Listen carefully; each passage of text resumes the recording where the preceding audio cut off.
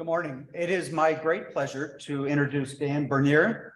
Dan is the Director of the Division of Park Environmental Sciences, which is within the Union County's Department of uh, Parks and Recreation.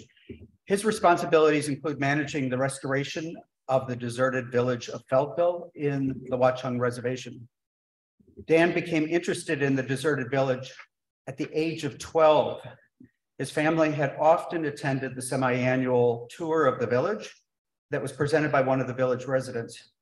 Later in nineteen seventy-five, he planned and completed his Eagle Scout project in Watchung Reservation, a three-mile-long loop between the Trailside Nature and Science Center to the deserted village and back. In nineteen eighty-two, Dan started working for the county as a naturalist at the Trailside Museum. He is now the museum curator and the new leader of the semi-annual tours. Along the way, he also coordinated the writing of the master plan for the restora- restoration of the deserted village, which is very pertinent to the talk today. Dan and his wife just celebrated a big anniversary. It was thirty years ago yesterday that they moved to the deserted village as resident caretakers. Yes, on Halloween. Dan now assumes the persona of uh, David Felt, Feltville's founder for the annual Four Centuries in a Weekend and Haunted Hayride programs. And it is my great pleasure to introduce Dan Bernier, a friend and a fellow scouter. Dan?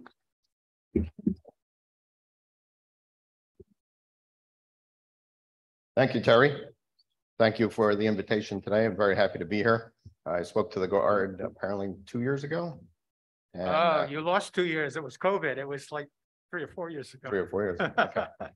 Um, I was happy to speak then about the history of the deserted village and, and brought you up to where we are today. Uh, today's topic, we're going to review the history again, but we're going to try to talk more about what is happening in the deserted village now and where it's going into the future.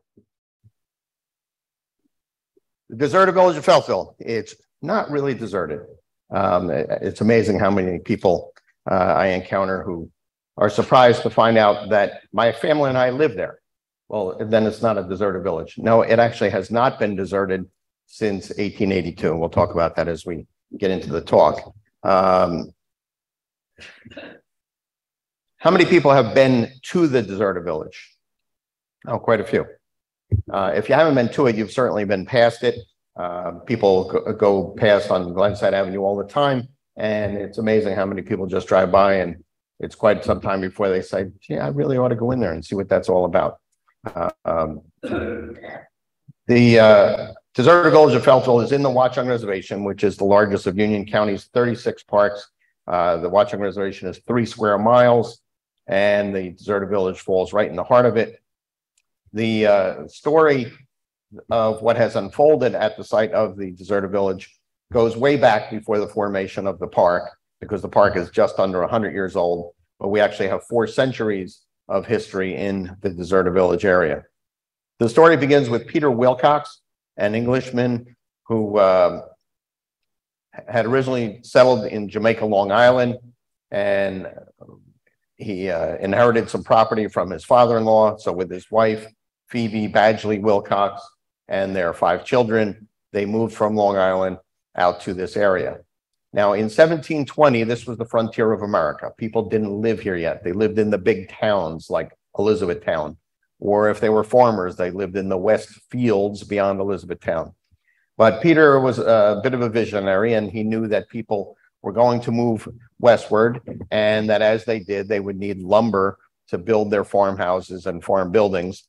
So he he built a dam, a low dam, only about five foot tall, down along the Blue Brook, which flows between the first and second Watchung Mountains. Uh, at a spot very close to this bridge that you're seeing in this picture, he built a sawmill, and he and his sons began to uh, cut down um, the trees to, to produce lumber. He, he probably picked this spot because there was already a trail running through here, a Native American trail called the Wahakik Trail. And it later grew up into a road known as the road from Westfield to New Providence, which still exists in many uh, places today. Uh, on the mountainside side, it's called New Providence Road. On the New Providence side, it's called Glenside Road. you've traveled that trail yourself many times. Uh, but here is where that trail at one time crossed uh, over the Blue Brook. The uh, stonework at the bottom of that bridge is still probably original back to the seventeen hundreds. So they, they had a sawmill, they were cutting down the trees from the forest, the native forest, and, and producing lumber and selling it to, to the early settlers of the area. Well, of course, as the Wilcox family cut down the trees, they ended up inadvertently clearing the land, which could then be farmed. So the Wilcox boys then became farmers. And as the Wilcox family grew, um, different uh, sons moved out and, and got their own tracts of land all throughout the area. They continued farming the land for about 125 years until, well, actually, I'm getting ahead of myself there. Um, there is a, a cemetery in the deserted village that is the cemetery of the Badgley and Wilcox families. Uh, the stone in the front there is Phoebe Badgley Wilcox, the mother of uh, um, the, the person represented by the two stones at the far end and her other four children that they had uh, with uh, her husband Peter. Um, there is the stone for John. Um, in 1776, the colonists declared their independence from Great Britain. They wanted to get free from the rule of King George. They went to war to secure that independence. Many of the um, Wilcox boys signed up in the New Jersey militia, went off to fight alongside General George Washington. In November of 1776, John Wilcox in the New Jersey militia found himself in a place called Fort Lee, up along the, the Palisades on, on the edge of the Hudson River, directly across from New York City. Well, the British overran an American fort in New York, and Washington knew that very shortly they were going to come across the river and overrun Fort Lee as well. So he ordered the evacuation of that fort as the militia and the army fled ahead of the British across North Jersey. There were a lot of skirmishes, and we believe that John uh, may have been wounded in one of those skirmishes. Um, knew that he was mortally wounded, had his will drawn up, and, and died 12 days later, and was buried in our cemetery.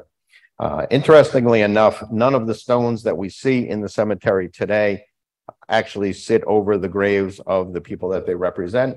Um, John Stone is the only original stone there. The the uh, th three others that are marble were placed there by the state of New Jersey in 1968 um, to honor veterans that were discovered to have been buried there. One of which is John. So John actually has two stones. Daughters of the American Revolution placed a stone for his mother Phoebe. Uh, we uh, have in just in the last few years realized that the date of uh, her death as recorded on the stone, which is exactly the same as that on John Stone, is incorrect. It, it was probably a bookkeeping error uh, when her death was recorded at the Scotch Plains Baptist Church several months after her death, uh, probably at the at the time that John uh, passed away. Um, so that stone is incorrect. She actually died in June of 1776, probably a week before the signing of the Declaration of Independence. So the Wilcox family was in the area for uh, 125 years until along came David Felt.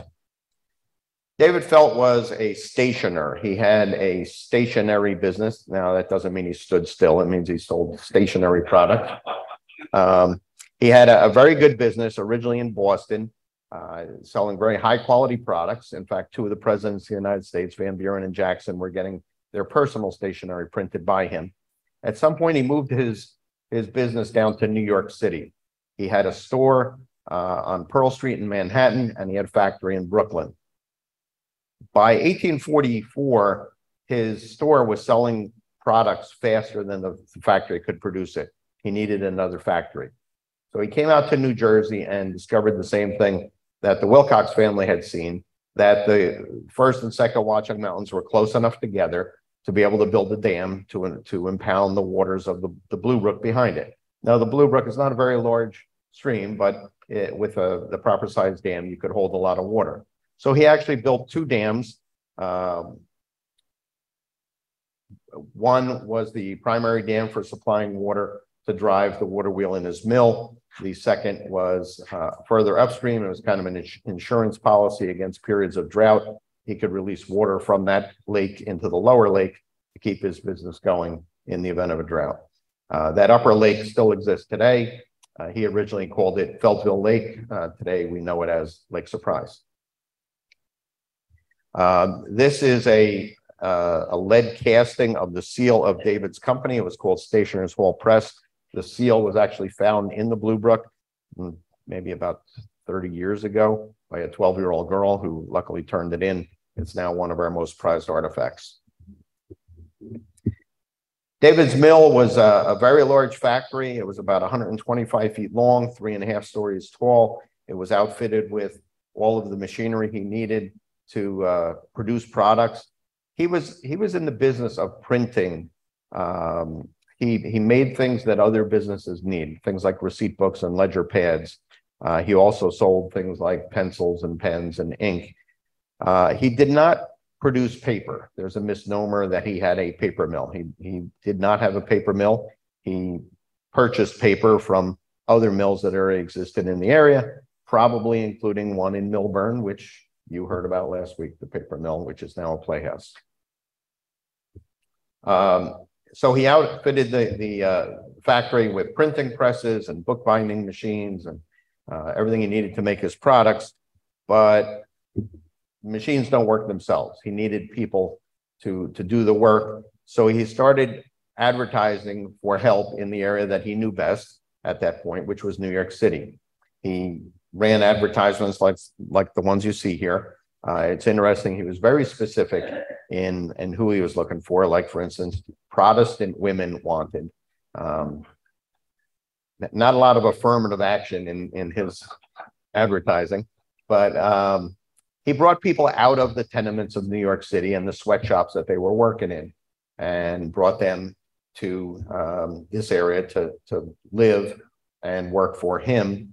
Um, of course, they needed places to live, so he built houses for them. Within two years, he built an entire town of probably 22 buildings. The houses were very simple. The uh, architectural style is called Greek vernacular.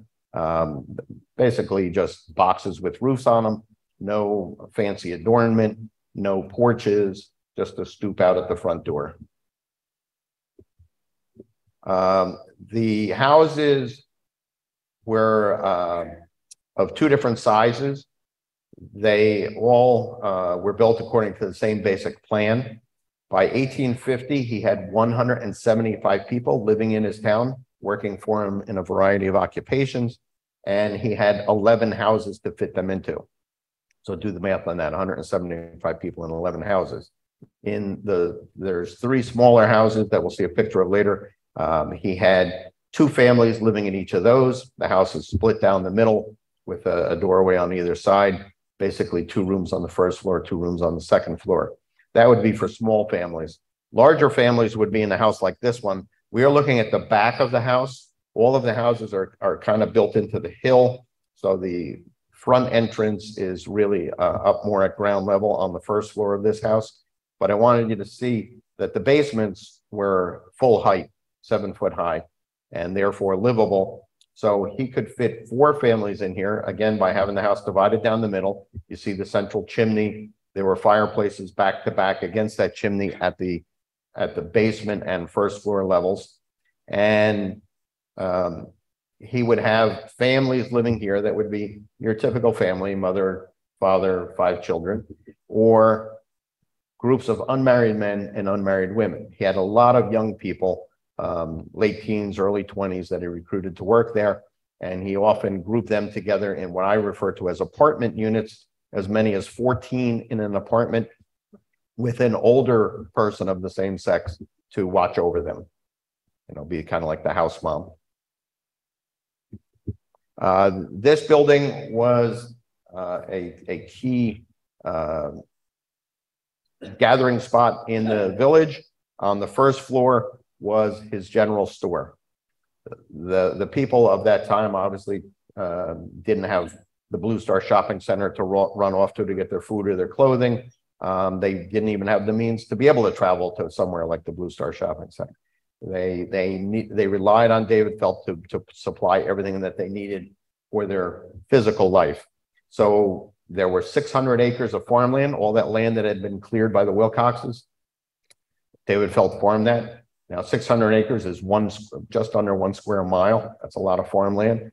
He had livestock to produce meat. He had apple and peach orchards. All of the, the produce would be provided to people through the general store uh, on the ground floor of this building. Upstairs in the same building was a church. He made people go to church every weekend.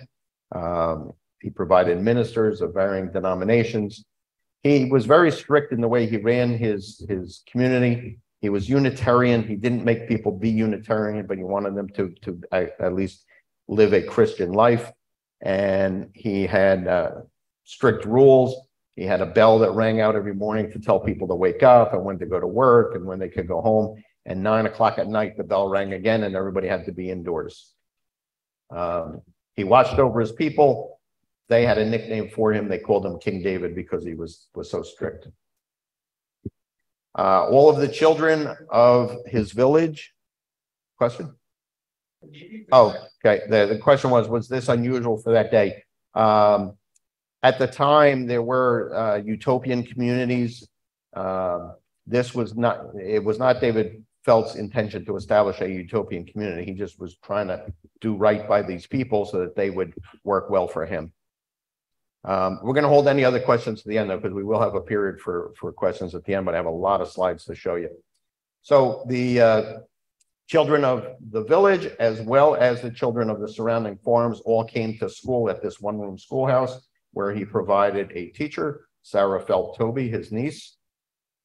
Um, this is a, a portion of Belding's map of eighteen fifty of Essex County, which um, that area was still part of Essex County uh, at the time up until eighteen fifty-seven when Union County was established.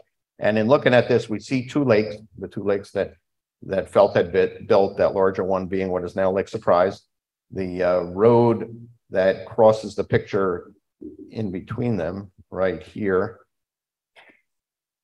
That's the road from Westfield to New Providence, starting down here in Mountainside and coming up and through and um, out and onto New Providence and Berkeley Heights today. But down here, we see Feltville, we see uh, we see Book Factory, and I believe this is Protestant Church. It's too small for me to see here, but, uh, and there's the Feltville School. So there was a lot of stuff going on. It was an entire town. It was fully operational, taking all of, taking care of all of the needs of everybody living there. Uh, this is an aerial view taken in nineteen twenty-seven. I just wanted you to see how wide open things were.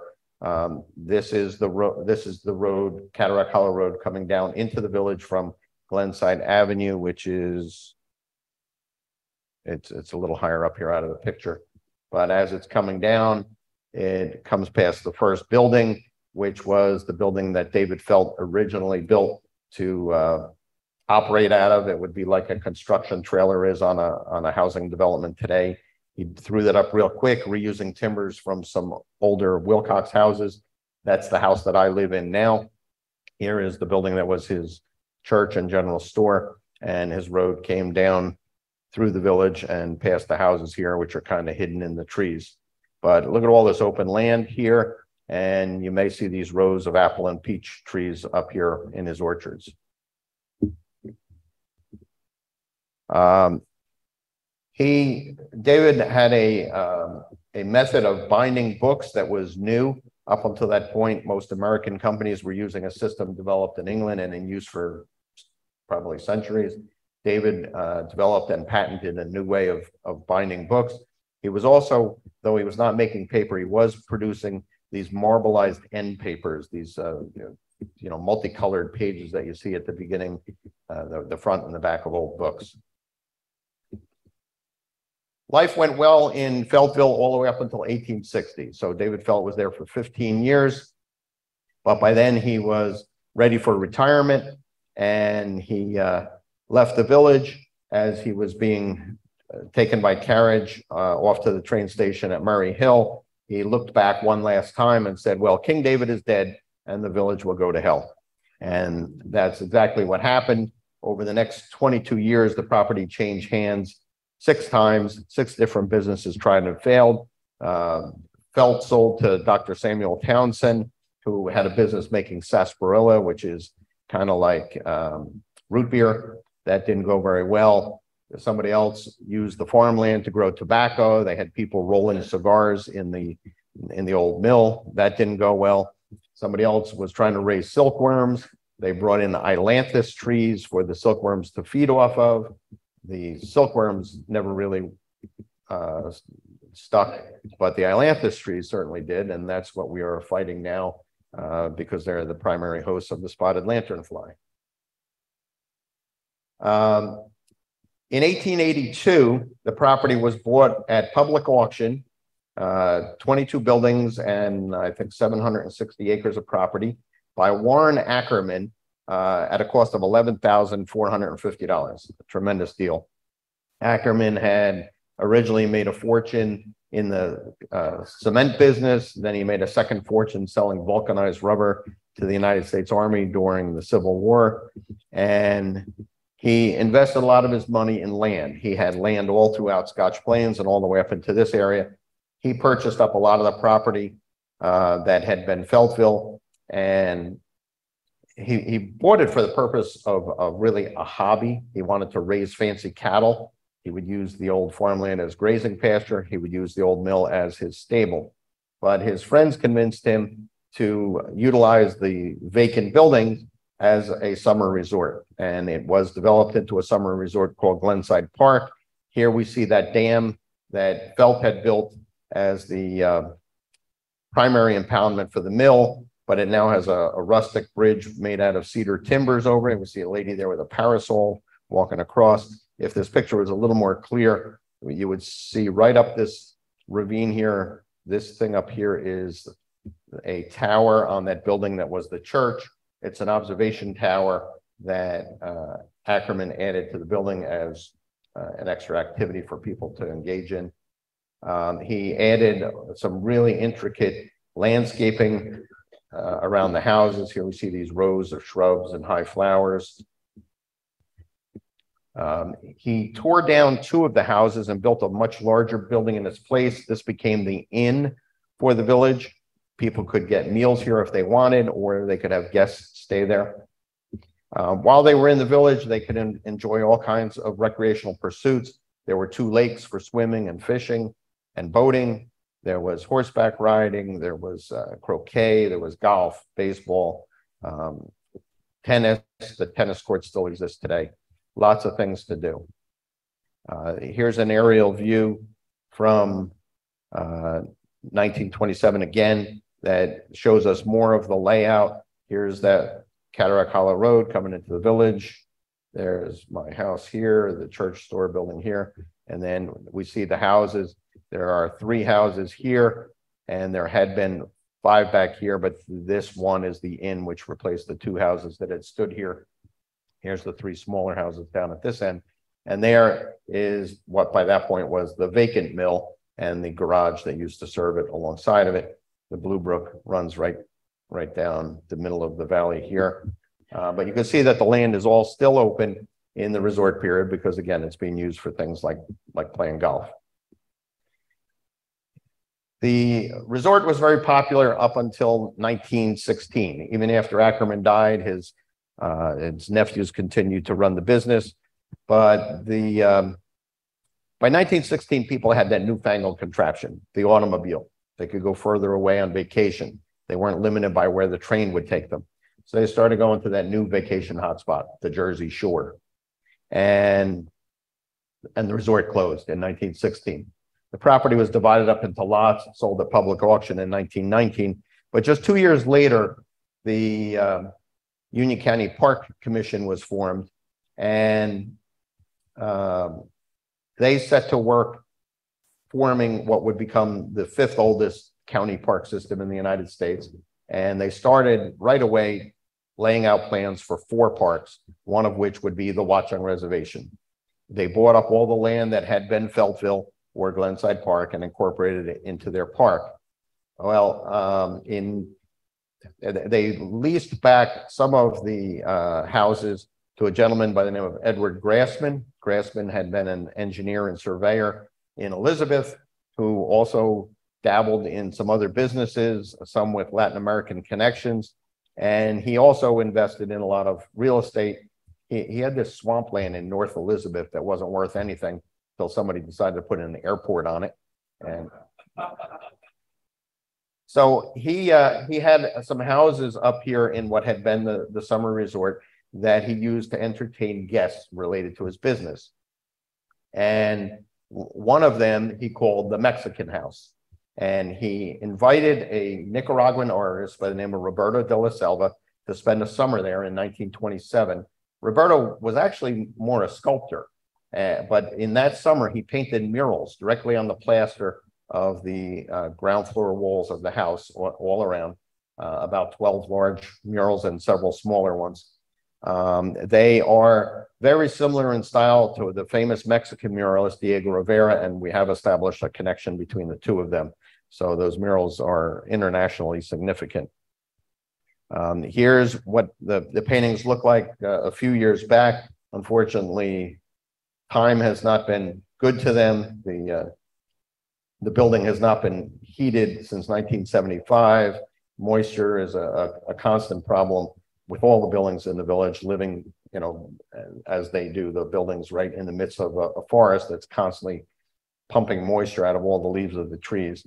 Um, but you see that the, uh, the subjects of his, his, uh, paintings were varied. On the left, you see what's a, an Inca or Mayan god, and on the right, you see a bunch of people kneeling in front of the Virgin Mary. Um, here's a, a, a group of peasants, uh, bringing in some crops. This painting is still in relatively good shape and will be the centerpiece, uh, when this building is res- fully restored as an art museum. So in nineteen twenty-nine, the Great Depression hit and the Park Commission found itself holding all of these vacant houses at a time when people were losing their houses.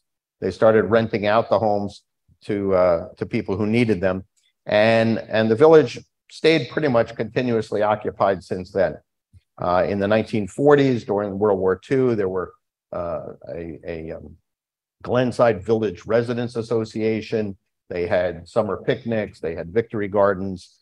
Um, they even had a, a, a newsletter. It was a magazine that they didn't publish it. They, they had people contribute. People from each house would write something, draw something. They'd bind it together into one book and then pass it around to all the houses. Um, the, uh, residents, uh, of all the houses continue until the nineteen sixties. During President Kennedy's administration, he had what were called title programs. One of the title programs required that sixth grade students get an environmental education. So the deserted village became the Union County Outdoor Education Center. And the uh, former general store became the headquarters for that. A um, carriage house that Ackerman had built for his summer resort became the cafeteria and lecture hall. And as houses became vacant, they became classrooms. The, the problem with it was that it was a, a seasonal operation. They only ran classes uh, spring and fall. It became very hard to get a staff to, to keep it going. So by the 1980s, the Outdoor Ed Center closed. And after that, those houses that had been um, classrooms stayed vacant. As other families moved out of of the other houses, those houses became vacant as well. At the time that I moved in three years ago, there were three families living there, but uh, today there is, is only my family. Um, that brings us up to today, and I wanted to talk about where are we going with uh, the village today. In 1980, 1980, the um, deserted village, um, more technically known as the Feltville Historic District, was listed on both the state and national registers of historic places. In 1985, I was involved in developing a master plan for development of the property. Uh, that plan is what we are still basically following. Uh, I'm going to walk you through uh, some of the parts of that plan. These are the three small cottages that Felt had built for his workers. The plan would be for the one on in the foreground to be a residence. The, the attempt is to have three residences, one in each group of houses to keep an eye on things. But of the of the other two, um, we'll see close-ups of them in a minute. The uh, plan is for programming in the village to center on archaeology. There's at least seventy-five known archaeological sites uh, that have been recorded. Uh, some of them have been excavated, but there's much more work to be done there. Uh, the county has been lucky to secure now at this point uh, six grants from the uh, New Jersey Historic Trust that have helped uh, to do initially stabilization work on all the houses in the late 1980s, and then restoration of the church store building in 1998, restoration of Masker's Barn, which was Ackerman's carriage house, that was completed in 2011, and just recently um, some exterior work on two houses. Um, this is the house that I live in. Um, this will remain as the caretaker's residence. It is um, ideally situated as the first house that anybody has to pass on their way in. So when kids come in there at 12 o'clock at night, as often happens, particularly this close to Halloween, um, I have the opportunity to turn them around and send them back out. Um, this is the one of the three smallest cottages. Um, this house will be restored to look like a mill worker's cottage. It, it is still has the most um, of the original Feltville elements to it, including the two doorways. So it will be partitioned down the middle as it had been originally. You'll be able to go inside and see what it was like to live in a house uh, this small and only have half of the house as the mill workers did. The house right next to it will be restored as a summer resort cottage. The porches will be reconstructed and you'll see what it's like to have use of the, the whole house. Um, th this is one of the two houses that just had nine hundred thousand dollars worth of work done on exterior restoration. On this house, the uh, roof was replaced, uh, uh, gutters and leaders were added, all of the windows and doors were restored, but the rest of the work is waiting for the next grant, which is about to be awarded by the Historic Trust. These, this house and the one just beyond it are in the uh, along the main road they will be used for temporary residence in a variety of ways. Um, you could rent it for a family vacation. No, it's not the Jersey Shore, it's not the Poconos, but for a family of limited means, it's a great place to spend a week. Um, access to 100 miles of hiking trails, several lakes to fish in, Trailside Nature and Science Center, uh, horseback riding at the Watchung Stable, plenty to do there. It could also be used if a uh, a business, a corporation is having a corporate retreat at Masker's Barn, they can put up their executives here for a couple of nights. And there is a, a lot of uh, events at Masker's Barn, including weddings, where the uh, wedding couple may decide to rent a house to use uh, first to prepare for their wedding day and then to spend their honeymoon, or at least their honeymoon night. Uh, this is the other house that was just restored. This is the house in which the murals were painted. Uh, this house got a full exterior restoration. Um, what's really neat about this house is the porch that extends down the side of it and around to the back. Uh, from here, you get an incredible view down into the valley of the Blue Brook. If um, if this were before 1930, we'd be looking straight down at David Felt's Mill. Uh, but unfortunately, that was torn down in 1930 because it had become somewhat of a, a hazard for kids to roam around in. Uh, this is the general store and church, which was, was restored in 1998. It now serves as the visitor center. Um, there are museum exhibits in there. Unfortunately, due to staffing issues, which were complicated by COVID, it has not been open for about three years, uh, but we are looking to reopen it sometime within the next year.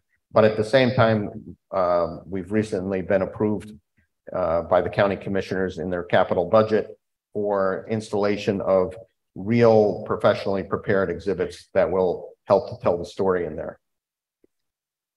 Um, to date, the county has spent about $6 million in the deserted village on restoration work. Hard to believe when you look around, you're like, where'd all that money go? You can't see all of it. Two and a half million dollars are in the ground. Uh, you see the fire hydrant in the front there. It, um, water is essential to operation of a village of this type. Uh, particularly if you're providing public access. Public buildings have to have fire sprinklers. They need public restrooms.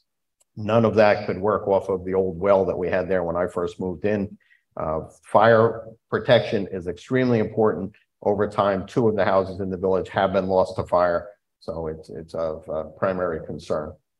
Um, I mentioned Masker's Barn already, the carriage house that was restored in two thousand eleven, um, with the intent of using it as a lecture hall and a meeting hall. But the, the restoration came out so great, people said, gee, can't we, uh, use that for parties? Here you're gonna see some pictures of the restoration.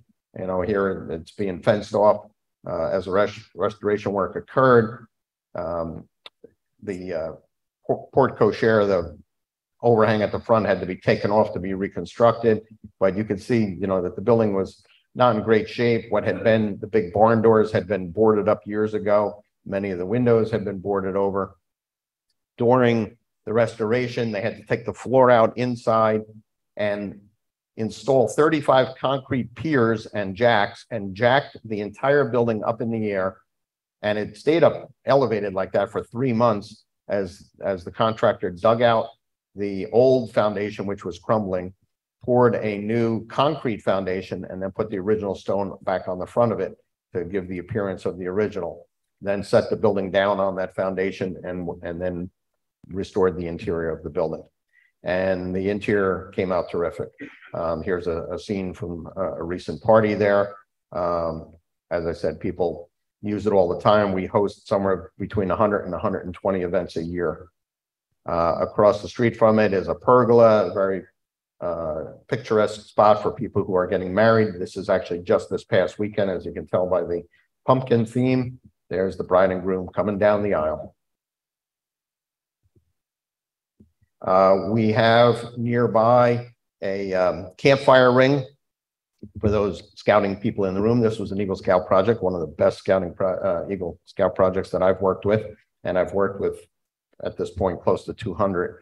Um, this was a, a scout from Scotch Plains, put a lot of engineering into what would seem like something simple, but it, it in order to be long lasting, it's got a drainage system under it. It's got a foundation. It's it's amazing.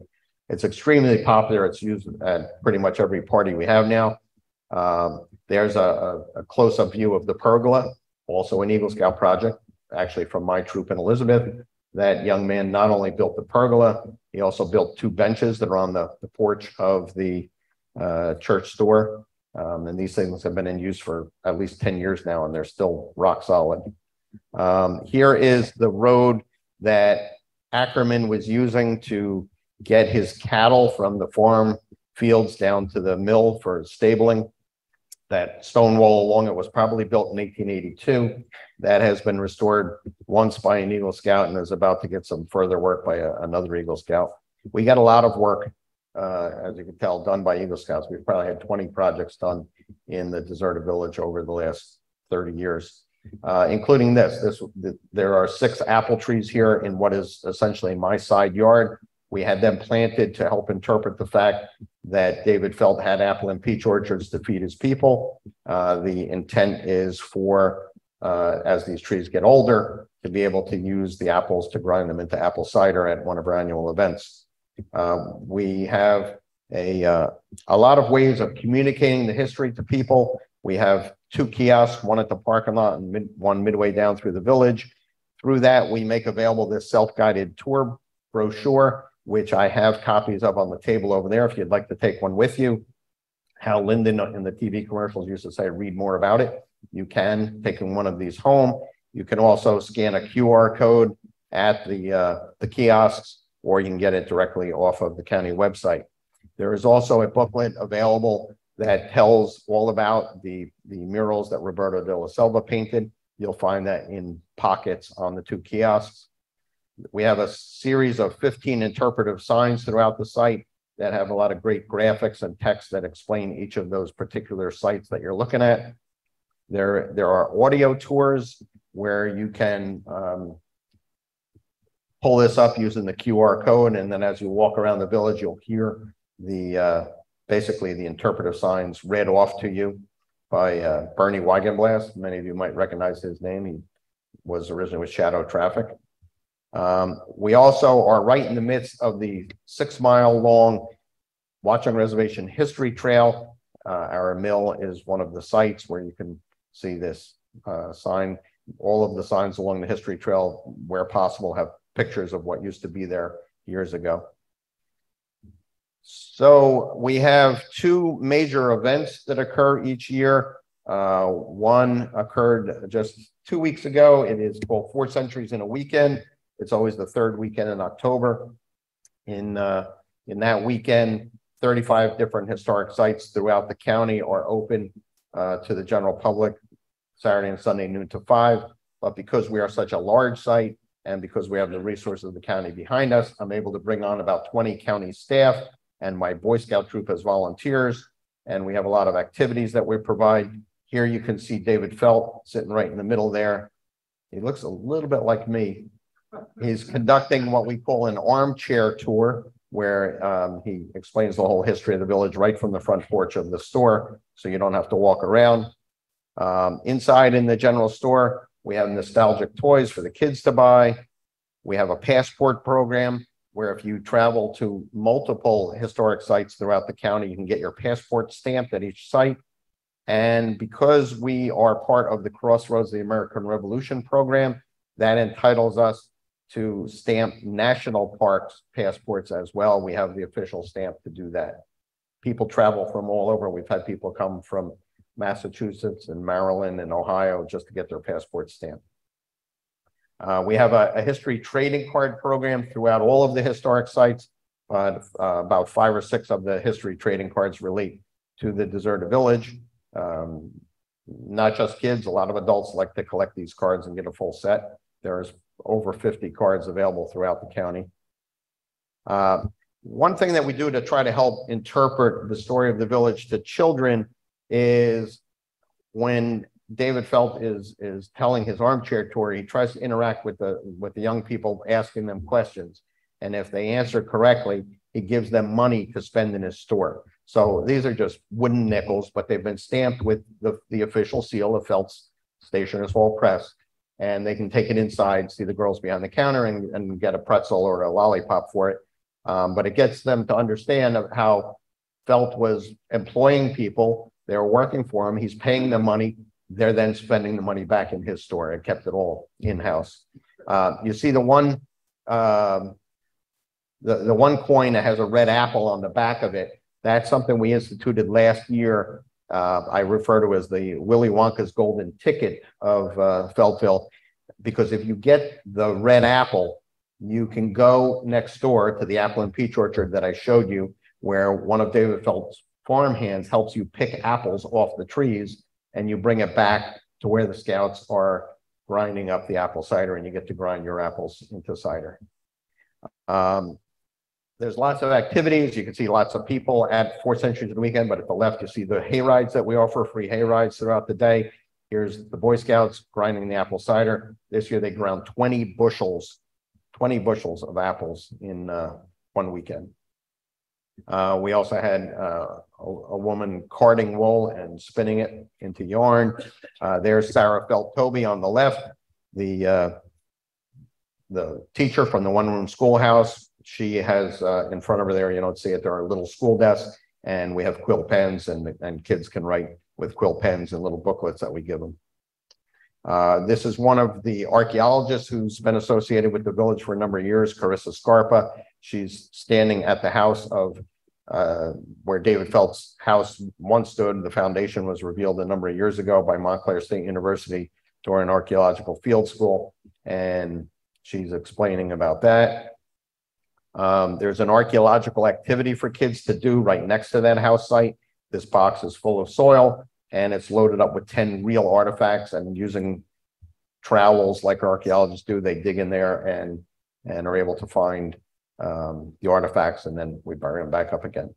Uh, there is a guided tour led by myself as David Felt and by one of the archaeologists and by uh, an historian who has connections to the village that date all the way back to the 1960s. She uh, is involved in rewriting a book on the village. At the cemetery, you get to meet John Wilcox, the uh, soldier who was in the New Jersey militia who got ki- uh, killed during Washington's retreat from Fort Lee. He's portrayed by my brother Tim. Um, if you come back a week later, we have Haunted Hayrides, hugely popular program. We sold out 900 tickets in 13 days, weeks before the event. Um, we do this every year. We, we won a statewide award for special event programming a number of years ago. Uh, but if you come back for that, you get to see Tim and as John Wilcox again, but the scary version of him. We- have a, a couple of pine box coffins. Uh, this is in a cemetery in the dark. You, you've just taken a hay ride through the village in which David Felt told you twelve stories of mystery and tragedy, things that have occurred over the years in the village, and they've all been acted out by a cast and crew of eighty people. And then he tells you to get off the wagon and walk in the dark with a, with a girl with a candle, and she's gonna take you to the cemetery. Some people won't go, but it, it's really the best part of the show. Tim does a great job of relating the history, but in a fun way that, that people really get it. And that's why we do a haunted hayride. Um, we, we don't do it to provide entertainment. There's plenty of, you know, haunted houses and haunted farms you can go to just to get scared. We do it as a way to bring people in and, and let them learn about the history of the village. Somebody in the National Park Service once told us, nothing sells history like a ghost tour, and people love it. Uh, here you see him addressing the audience. He's, he's got a great way of engaging people. Um, he's, he's got this little plastic spider that he has a piece of dental floss tied to. And the other end is tied to one of his teeth. And, and he has learned how to manipulate the floss with his tongue to make the spider climb up and go into his mouth. It just totally grosses people out. Um, some of you who uh, may be involved in stuff here in New Providence may have met him because he has been involved in some of the tercentenary um, events that went on in New Providence. Uh, over the years, there have been a number of publications. This is a booklet that was printed by Dr. Arthur L. Johnson about the deserted village back in the 1940s. Uh, very basic, probably a, a rather inaccurate by today's standards. This was done in 1964. There are um, many copies of, the, of these around, but it is out of print. So if you ever get one, hang on to it. The historian who provided a lot of the material for this booklet was uh, Edwin Baldwin of Summit. His granddaughter, Priscilla Hayes, is the historian I mentioned before. She has taken up the uh, mantle of trying to rewrite his book um, to, to make it more uh, inclusive and, and get more into the social history.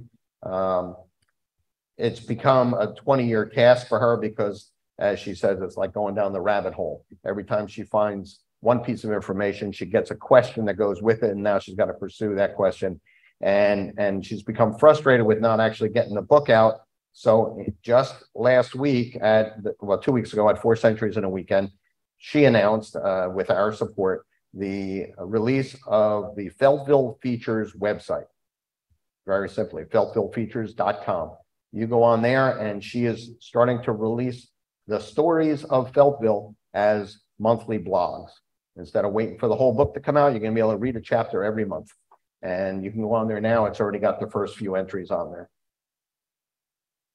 The uh, deserted village, as you're hearing, is not so deserted. Uh, we're getting about hundred and fifty thousand visitors a year. This is just this past weekend. Spring and fall are the busiest, uh, particularly the fall, when the fall color is out, everybody's coming out to see the leaves. Um, you see people strolling the grounds, uh, jogging. We've got people out there jogging from six in the morning till nine at night. We even had one guy used to come and play his bagpipes in the parking lot because his wife wouldn't let him play at home. Dog walking is huge. We've got plenty of that. Photography, um, professional photographers are there every week, you know, doing portraits of families. Um, as we get closer to Christmas, we'll see a lot of, you know, future Christmas cards being photographed there. Uh, but for our four centuries in a weekend, and then again, right before Christmas, we have what we call the Kodak spot here on the side porch of the church store building. Uh, during four centuries in a weekend, we actually provide a staff member to be there both of those two days to take the picture of your family so that everybody can be in the picture. Speaking of which, um, here, here's a little blurb about ecotourism. We're finding that uh, a historic site like the deserted village is good not just for the site, it's also good for the surrounding community. People come from all over and particularly being located where we are just off of an interstate highway, the license plates that I see in a parking lot are incredible. They're, they're, they are from all over states throughout the United States. There was a, a truck there one day with Texas license plates and a lady happened to be sitting in the truck. So I said, can you tell me what brought you here from Texas? She said, well, actually, it's a rental truck. We're not from Texas. Ah. We're from Minnesota. And we're on our way to Newark Airport and we have two hours to, to spend before we have to be at the airport and we'd rather spend it here than in the airport. Um, so ecotourism is a huge thing. While they're in the area, they're buying gas, they're going to restaurants, they're using convenience stores. Um, this family is here from Georgia. Uh, except the lady in the, the back left, that happens to be my wife. And that is her mother, sister, and brother, who were here this past weekend for my stepdaughter's wedding in Masker's Barn. Um, but again, people coming from all over. At Four Centuries in a weekend, two weeks ago, we had people here from Texas, we had them from Massachusetts, we had them from uh, points far and wide. So rounding up, um, the deserted village is, is a very busy place. It is not at all deserted, not just because my family still lives there, but because there are people of all types coming for all kinds of activities. And I would invite you to be some of those people. If you don't have a chance to get down there often, come check it out at least once. Uh, if you are not able to get down the hill, or worse yet, you know you're not going to get back up that hill because it is a, a hill. Um, if you've got a handicap plates or a handicap hang tag, come on down anyway. Uh, if I'm around, I always tell people, you know, if, if you've got a handicap, please feel free to, to come through. At events like our Four Centuries in a Weekend, we provide transportation between the hay, the uh, hayride and golf carts that we take people around on. We are cognizant of the, the difficulties of the topography. But once you get down as far as my house, it's pretty much flat ground and you'll be able to get around and, and, and see everything that's there. So with that, I will open the floor to any questions you might have. Thanks so much, Dan. Uh, this is fabulous. I just love this talk and everything you've been doing. And you know, I have to tell you, I came to this area in, uh, I hate to admit it, in 1969 to take a job at Bell Labs up the hill from Feltville.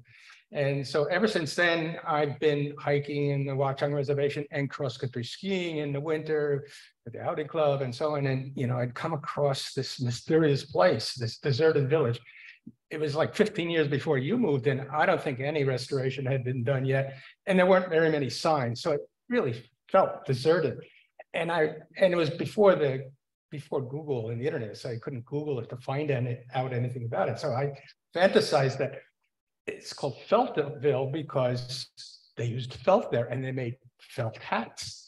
And, and that, of course, conjured up the Mad Hatter from Alice in Wonderland, which all kind of percolated in my mind. So I always loved Feltville.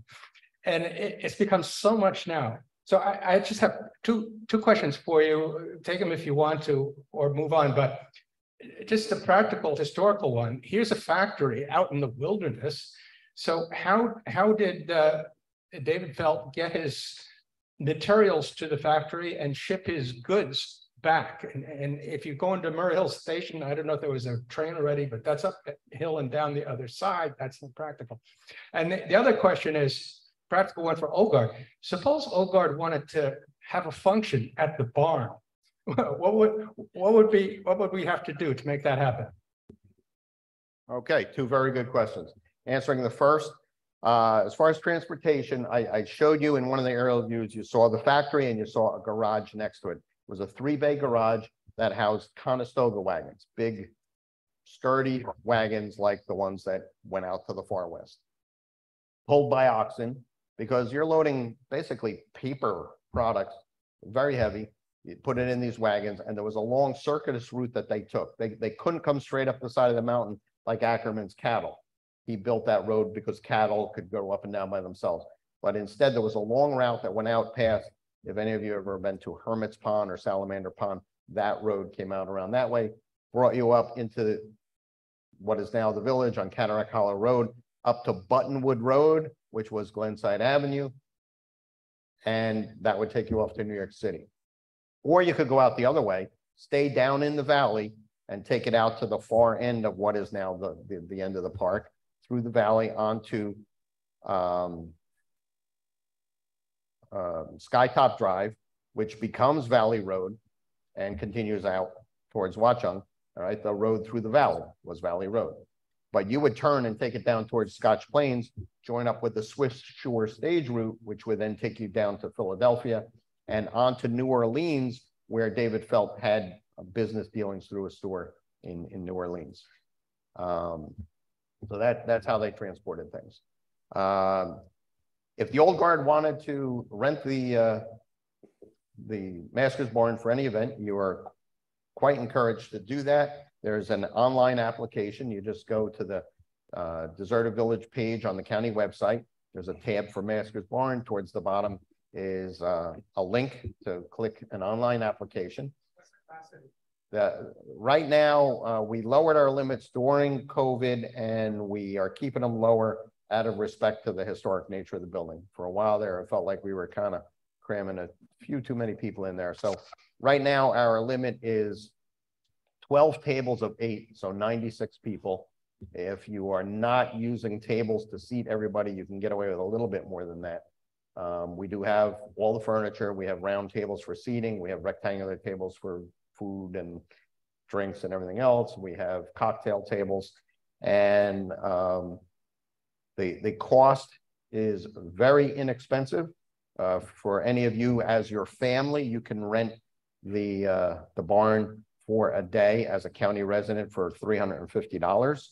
Uh, you can do two days for 650, which is often what happens with something like a wedding.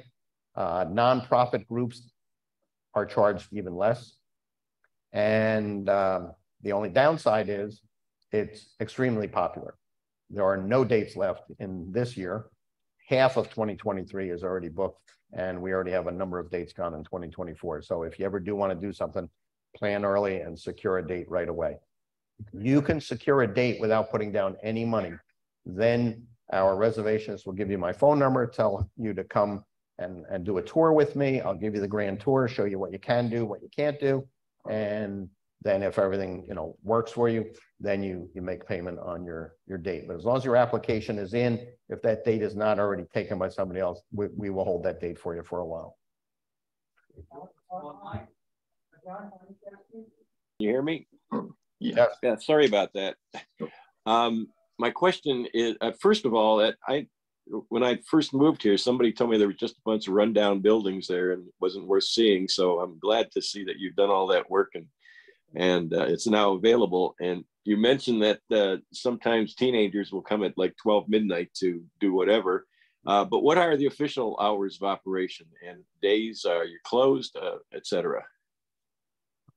We are open um, all day long. There, there's no official hours for strolling the grounds. What we do limit is the parking. So you cannot be parked in the parking lot between 9 p.m. and 6 a.m. That's the limiting factor. If anybody's there after nine o'clock, uh, we'll, I'll either look for them and chase them out, or if I can't find them, then the county police will come and usually issue them a ticket and then go looking for them. Thank you. Anyone else here? Rich? Hey, Dan, uh, Feltville was, was uh, founded based on the water power that they used coming downhill in Bluebrook. Uh, somewhere in the middle of this history, steam came along, uh, and, and supplanted that, the water power industry. Did that factory ever convert over to steam or, or, or stay with water all the way? So the question is, uh, did the factory ever convert from water power to steam power? Uh, not that I am aware of. I do know, however, that in the resort period, out at um, what is variously known as salamander pond or hermit's pond, hermit's pond being really the more appropriate term because there was a person who lived in a house right out near that pond, a, a distance out from the village, and he was by himself, so he was the hermit. But his job was to run the steam pump in the in the brick building right alongside of that um, impoundment that was formed right in front of the spring, because that became the drinking water for the resort. Um, they would pump the water up from there to a, um, an underground reservoir, and it it would then flow back by gravity to the houses. When I moved in, that was still the same basic system we were using, except that the, the uh, source of water had been switched over to a, a well that was down along the brook. But we were still using water from that underground reservoir. Um, we were losing about fifteen thousand gallons of water a week. Um, so obviously there were a lot of leaks in the, in the reservoir underground. And I would have to run the pump every Sunday for twelve hours and go out in between and dump a quart of Clorox bleach in. That's how we chlorinated our water. We tested it every month. It failed about one out of every three tests.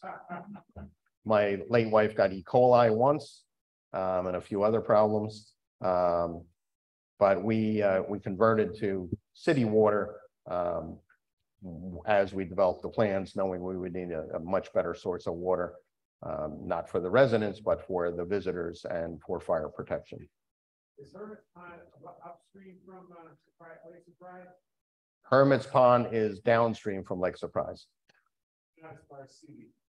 Correct, not as far as Seeley's. It's, um. If you, if you went out past Masker's Barn, continue straight on that trail, it would take you right to it, maybe quarter of a mile out. Stan, thank you. A fascinating presentation. And I have to admit, I didn't get to uh, visit there until maybe a year or so ago, even though I was you know, pretty much born in New Providence and you know been there most of my life. It's a fascinating place. I encourage our members to visit. I'm curious. I don't think you mentioned what was the largest number of buildings on the site, you know, at any one time, and you know how many are still standing today. And then, are there plans over the next many many years to try to rehab, you know, uh, as many of the buildings as possible, and even rebuild some of the original ones that had burned down or decayed, et cetera? Okay, it's, it's thought that David Felt had twenty-two buildings, eleven of which were houses and the other eleven were um, public purpose buildings, the general store and church, uh, a blacksmith shop, the school, um, and, and, uh, farm buildings. Uh, today, there are ten buildings. Eight of them are houses, uh, that Felt built. One is the general store and church, and one is the Masker's Barn, which was the carriage house that Ackerman built. The, uh, the master plan calls for restoration of every building. Um, the general store and church was restored in nineteen ninety-eight, Masker's Barn two thousand eleven. My house has been under restoration since the day I moved in.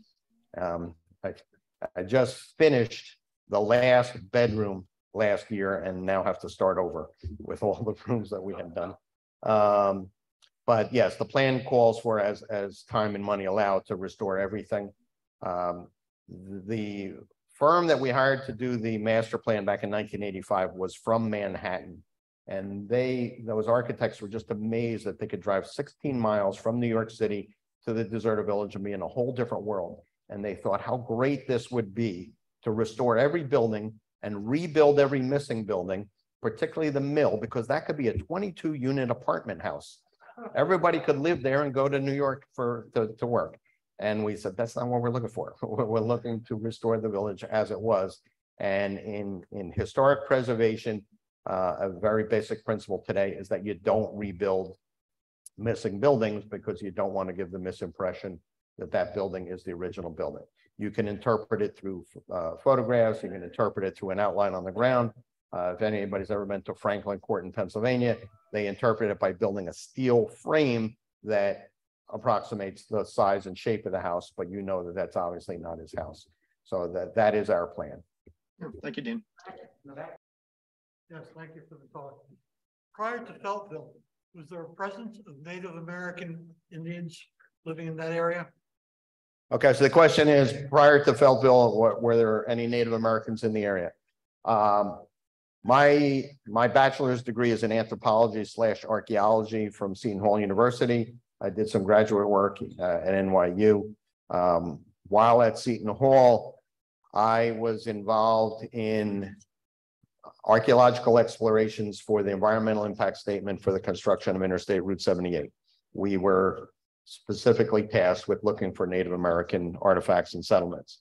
And we found one artifact uh, after looking at five different possible routes of the uh, highway, five miles long. So basically, a- and, and any one time, there were no more than ten thousand Native Americans in New Jersey. If you had a choice between living up along the Delaware River with its fertile uh, fields um, along the edges and with all of the fish and shellfish and the ability to, to travel up and down in canoes versus living in what is now Union County, um, the choice was easy. You, you lived up there. So we had trails like the Oaxaca Trail that passed through. There were certainly Native Americans passing through, but there doesn't seem to have been a lot of settlement in the area. Thank you so much. Online, George Paul? Yeah, great talk. Very interesting. What caught my attention was the uh, archaeological digs.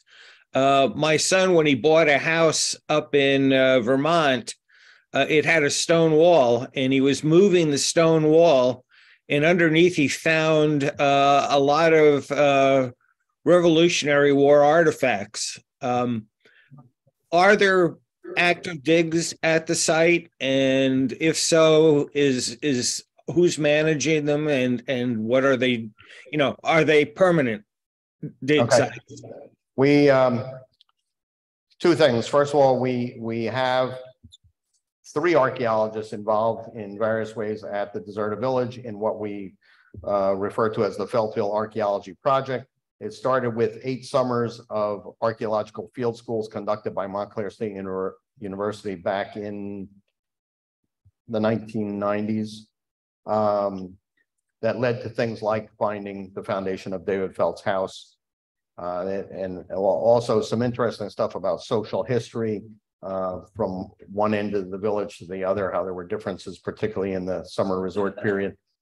Um, there have been archaeological excavations. There needs to be archaeological excavations anytime you are going to disturb the soil in uh, a, a National Register listed site uh, prior to restoration work. So for instance, before the church store could be restored, there was archaeological work around that. Same thing at Masker's Barn. Um, there is no active archaeology going on now because there is no um, major project underway.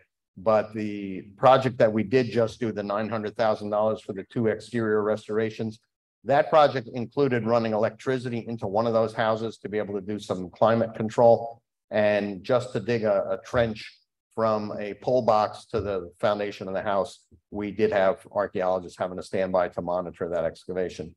The other thing that I, I didn't mention in the talk, but um, kind of segues in here, for many years, we ran a program called Operation Archaeology.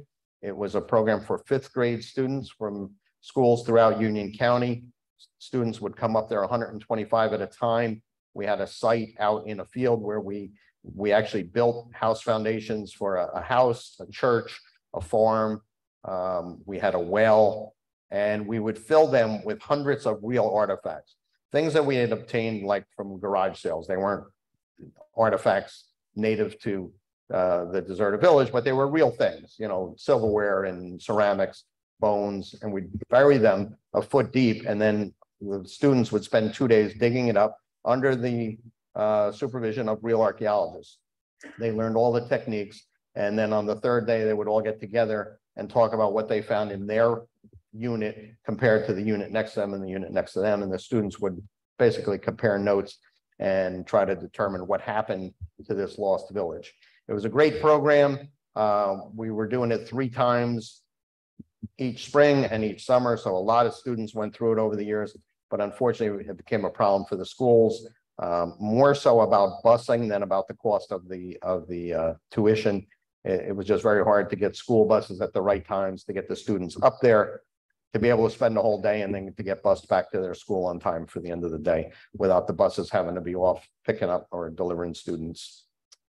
We have time for two last quick Thank you. questions. I, uh, I was a longtime resident of Union County. My whole life, I we heard about these other, about, about the, hold it closer, or about the deserted village, and the reason it was deserted, it was murders in deserted village.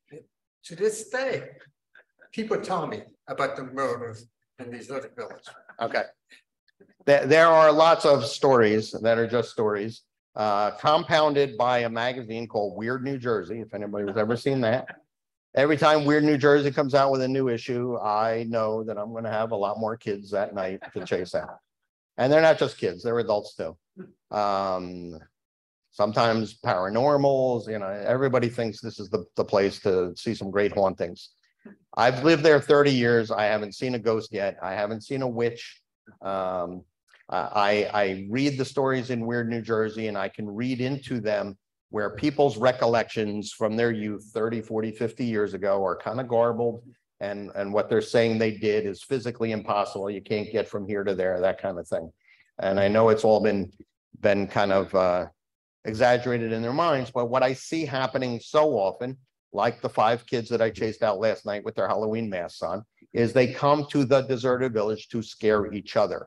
And th- th- there are no real ghosts or, or goblins or witches or whatever. It's them scaring each other. As far as murders, um, we have had a number of deaths in the village, as you would expect, you know, a place that had hundred and seventy-five people living in it. People died when we have a cemetery. Uh, I'm not aware of anyone having been murdered. Um, we, we have two girls who were sixteen years old, um, worked for David Felt in his mill. They both went swimming and in spite of being excellent swimmers, they both drowned. David Felt had them buried in the cemetery. Um, if you come to the haunted hayride, you may get to meet them, but, um, but they were not murdered. Um, John Wilcox, the, the uh, Revolutionary War soldier, he was killed in battle, but that's battle, that's not murder. Um, there, there was Mrs. Kuffner, who lived in house number nine, elderly woman, uh, her house caught on fire. Nineteen fifty-three, she was blind, she was home alone, her husband was out. He comes home, finds the house on fire, she's screaming from an upstairs window, he tries to get in. The flames beat him back. Two passing employees from Bell Labs grab him and pull him back from the burning doorway. She died in the fire. So there, there have been a lot of tragedies there, but no murders. Paul. Yeah, Dan, since you, since you brought up uh, the topic of Route seventy-eight, you mentioned it in passing. Uh, I, I'll say I, I was there at Bell Labs before anything was, any of that was built through the edge of the reservation and it was in its planning stage and I'm aware of all the public controversy and so on and so forth. And then they finally did all of that regrading to put that through and they put in this highway going right alongside of the, of the Watchung Reservation. And it was so heartbreaking to see the impact on the reservation. So there's continual traffic, there was all the mud runoff into the reservation. It was terrible impact. So now what's your take on all of that? I mean, obviously we have to live with it, it's done, but what's your take on that? When I went from being the museum curator at Trailside to being the park planner for the park system, the very first job I was assigned to was the, construction of Route seventy-eight. They, um, the New Jersey Department of Transportation and the Federal Highway Administration had established a, um, a, a series of biweekly meetings of people from their staffs, from their environmental branches and from county parks, and I was a representative to that. Um, and our job was to make sure that all of the environmental controls that were designed got built. Things as, as simple as every sign, uh, like stop signs, the backs of them are all painted so that if you're in the park looking out, you don't see them. They, they took every, every possible step to try to minimize the damage.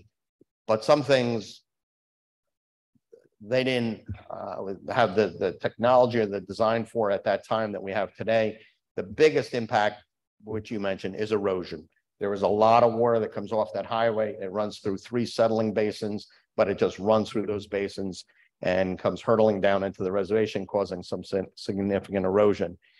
The, um, when, when the church store building was going to be restored and we did archaeology work there, the archaeologists found that there was two feet of sediment deposited at the front of that building. That although the porch now is almost at ground level, that in, when it was originally built, you had to go up a flight of stairs to get into the building.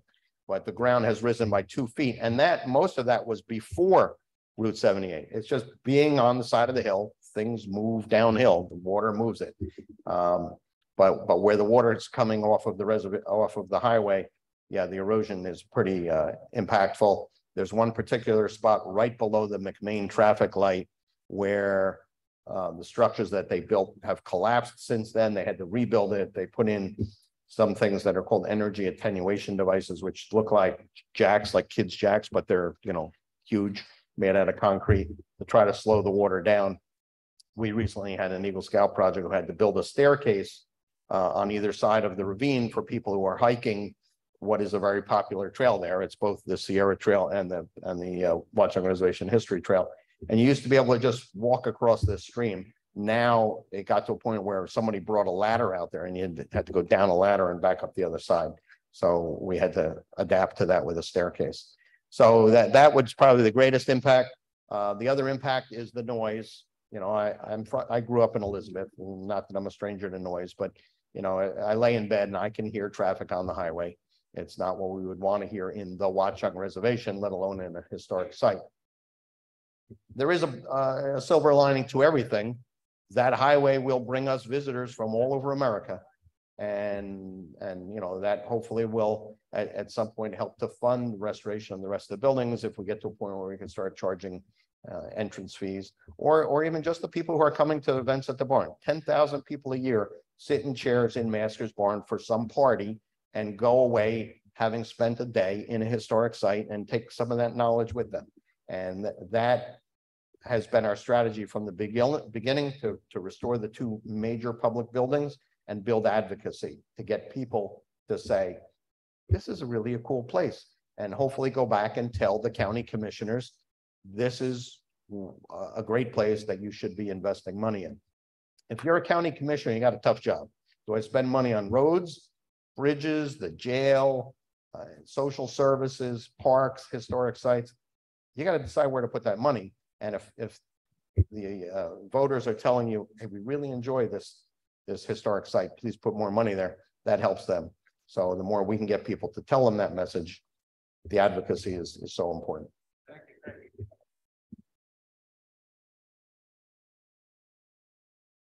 Uh, Dan, thank you so much for a wonderful presentation. Your, your, your knowledge of the uh, deserted village is extraordinary, and we are very fortunate to have you there. And now, uh, Terry Dwyer will be providing the formal thank you for the Old Guard. Yeah, Dan, briefly, I just want to present you with a certificate from the Old Guard of Summit. Certificate of Appreciation. It has the orchid, which is the symbol that was adopted by the uh, Summit Old Guard back in nineteen thirty, when Summit was renowned for its um, orchid production and distribution. Uh, but it also reminds us of the original mission of uh, the Summit Old Guard for friendship and fellowship. So thank you very much. Thank you. Thank you, Terry, and thank you again for inviting me today.